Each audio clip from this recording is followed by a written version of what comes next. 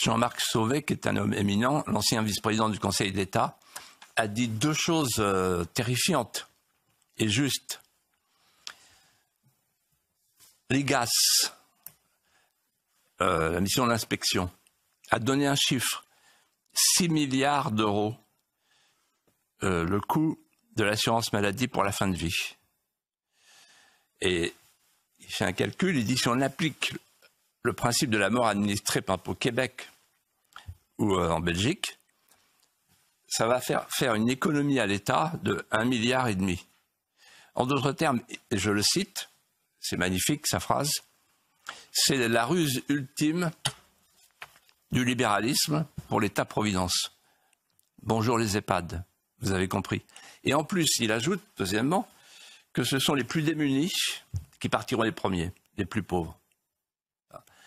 En fait, je vais vous dire quelque chose qui me vient à l'esprit.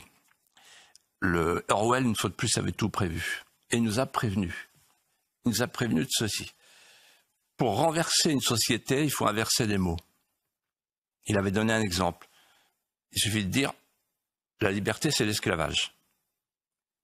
Alors, on dira euh, l'acte de tuer son prochain, c'est une loi de fraternité. L'euthanasie, c'est l'aide active à mourir. Le suicide assisté, c'est mourir dans la dignité. La piqûre létale, c'est le prolongement du soin. C'est-à-dire qu'en fait, nous sommes euh, entrés dans une société de l'esquive où tout le monde apprend à mentir et à se mentir. D'abord par omission, puisqu'on oublie de dire que tous les pays qui euh, pratiquent l'euthanasie, qui l'ont légalisée, ils sont maintenant dans une dérive et un délire vers l'eugénisme. Les enfants, les handicapés. Euh, le premier qui a fait ça, c'est Hitler, l'eugénisme. Ensuite, euh, il a dit, Jean-Marc Sauvé, c'est une rupture anthropologique. Il a raison. Pourquoi? Parce que c'est un changement de repère complet de notre civilisation. Et ça consiste à confier à la médecine et aux médecins le soin d'administrer la mort. Je vais vous dire, je vais vous faire une confidence. Euh, un jour, j'ai rencontré Hassan II, longuement. On est devenus amis le 9 juin 1992. Et je lui ai parlé de la civilisation française. Il m'a dit, attendez, ne parlez pas de votre civilisation.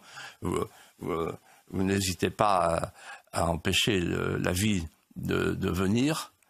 Euh, et vous parquez vos vieux dans des miroirs. Ne parlez pas de civilisation. Et bientôt, vous ferez l'euthanasie. En fait, vous brûlez les livres de sagesse. Hassan II avait raison notre civilisation est en train de périr.